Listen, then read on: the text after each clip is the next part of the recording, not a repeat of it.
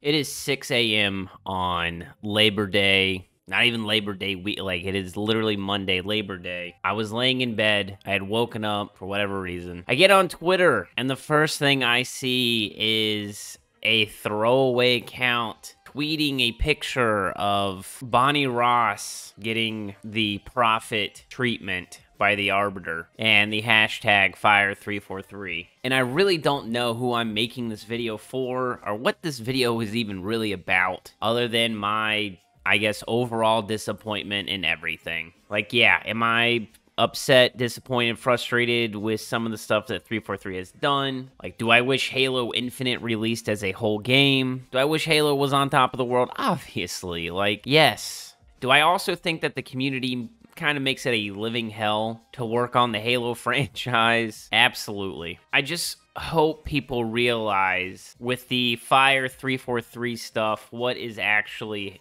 going to happen. They have made it to where what, you know, developer or what person looking for potential employment in the video game industry is going to work on Halo. I think that's why a ton of people have left 343 in the first place is because they just it, it's it's too much. And the thing is is I don't think I've met a developer that works on Halo that doesn't love the franchise, that doesn't want Halo to be good. I, I, think that it's so weird that there are these like fanatics who are doing just as much damage to the brand and franchise that is Halo that they're arguing 343 has done. I would never, I would never want to work on Halo just because of how like people are asking for, you know, new studios to take over Halo to make new Halo games. And if I was the head of those studios, I'd be like, "No, absolutely not. I don't want anything to do with that." We've created this vacuum that Halo will never live up to any expectations that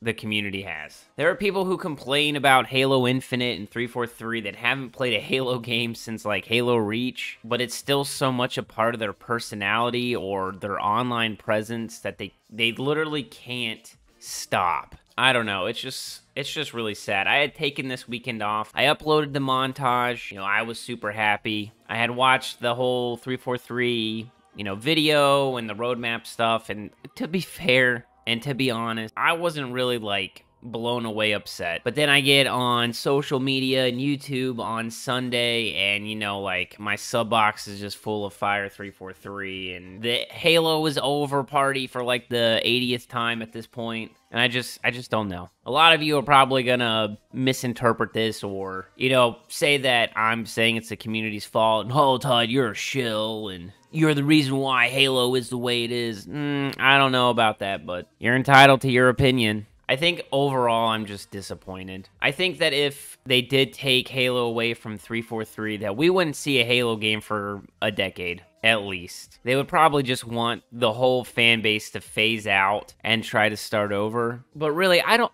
I honestly don't know if we would I feel like Halo would just kind of stop after that. Again, I think there have been huge missteps with the franchise. I think the show was this amazing opportunity and it just fell flat on its face. I hope season two is better, but you just, I don't know. I don't know. I don't do content creation or YouTube or anything like that for my job, and I don't make my entire personality based around the video game, so maybe I just see it a little bit differently. But I think at this point, we can all agree that the franchise has had a lot of damage done to it in the past few years. And I don't know if it can honestly ever recover.